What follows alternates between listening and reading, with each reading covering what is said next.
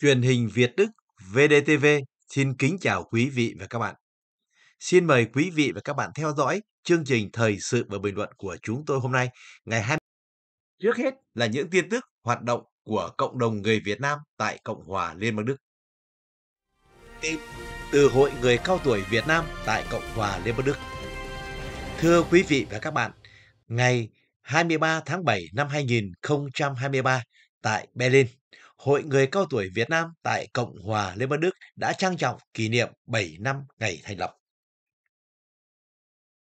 Phóng viên nhà báo Huy Thắng đưa tin từ hội trường. Vâng, à, quý vị và các bạn đang theo dõi chương trình khai mạc của Hội Người Cao Tuổi Việt Nam tại Cộng hòa Liên bang Đức kỷ niệm 7 năm ngày thành lập. Vâng, cao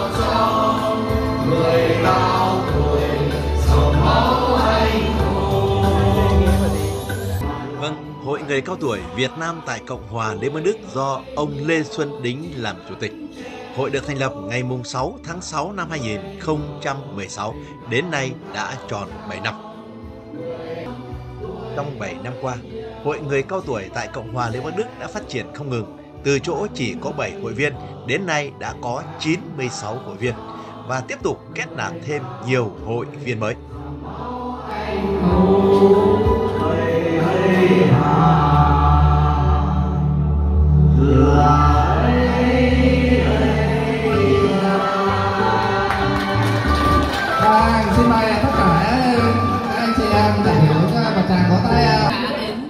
Thưa quý vị và các bạn, đến dự với Hội Người Cao Tuổi, ngoài số thành viên là hội viên của Hội Người Cao Tuổi Việt Nam tại Cộng hòa Liên bang Đức, còn có đại diện nhiều hội đoàn và nhiều tổ chức tập thể của người Việt Nam. Trong đấy có Hội Cựu Chiến binh Berlin Brandenburg, Hội Tân Trào, Hội Từ Thiện Sen Vàng, Hội Khuyến học Đội Múa Trái Tim Tình Bạn, Hội Đồng Hương Hà Tĩnh, vân vân. Thưa quý vị và các bạn, thay mặt Ban chấp hành Hội Người Cao Tuổi Việt Nam tại Cộng hòa Liên bang Đức, ông Lê Xuân Đính, Chủ tịch hội đã đọc lời khai mạc. Trong lời khai mạc, nêu bật cùng với sự phát triển của hội từ 7 thành viên đầu tiên hiện nay hội chúng ta có 96 anh chị em trên toàn nước Đức đăng ký tham gia xin các anh các chị dành một tràng vỗ tay chúc mừng sự lớn mạnh của hội người cao tuổi chúng ta thưa các anh chị trung thành với điều lệ hội nhưng các anh chị đã Trong lời khai mạc của mình, ông Lê Xuân Đính và Thưa quý vị và các bạn, Hội Người Cao Tuổi Việt Nam tại Cộng hòa Liên bang Đức hiện nay có trụ sở tại Berlin.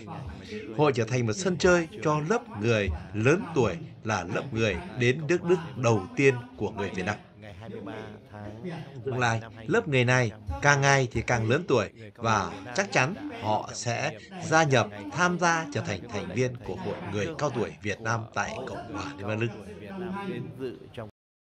Và vì vậy, hội rất cần sự giúp đỡ của Đại sứ quán Việt Nam, của các hội đoàn và đặc biệt sự tham gia nhiệt tình của các hội viên.